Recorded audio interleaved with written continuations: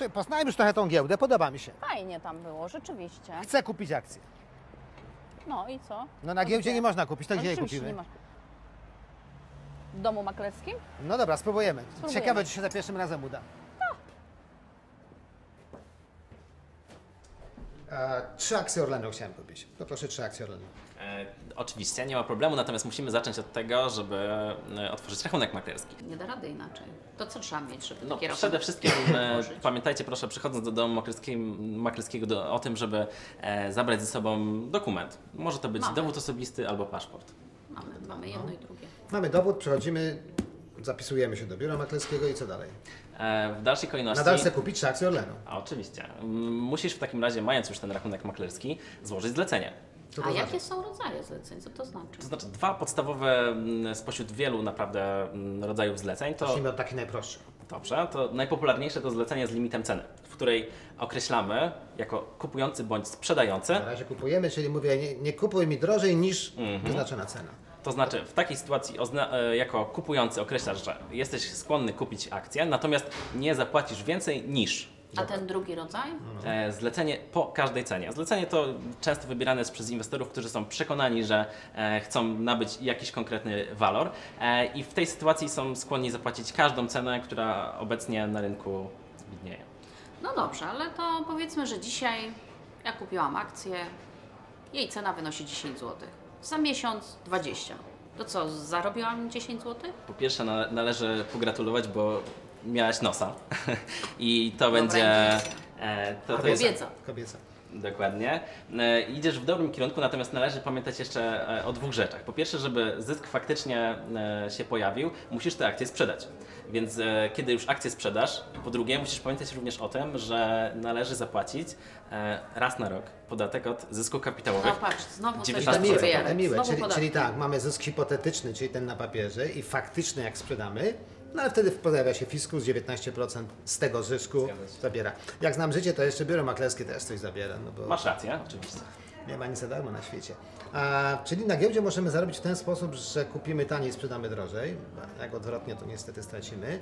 Ale to nie jest jedyny kanał, dzięki Jest któremu inwestorzy Jest mogą jakieś zarobić. takie coś, Zgadza się. dywidenda, takie trudne słowo. Dokładnie tak. E, mamy również spółki dywidendowe, czyli spółki, które e, taką dywidendę najczęściej cyklicznie m, wypłacają.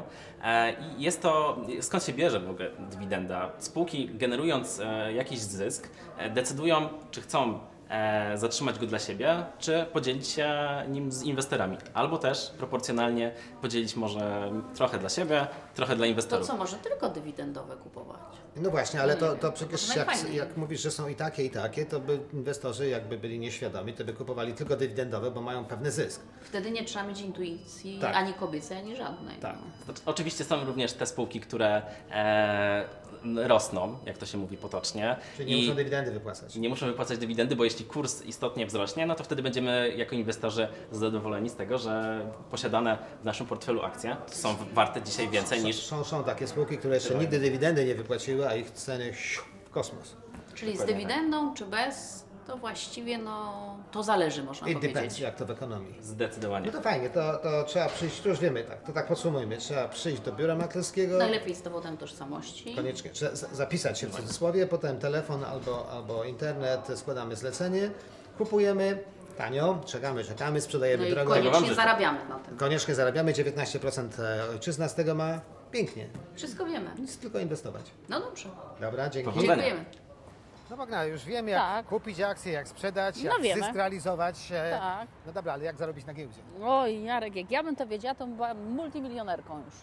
No dobrze, to chociaż powiedz mi, kiedy akcje, kiedy ceny akcji rosną, a kiedy spadają? E, zacznę od makro. Trudno. E, Stan gospodarki, no a poza tym oczekiwania inwestorów, kondycja spółki.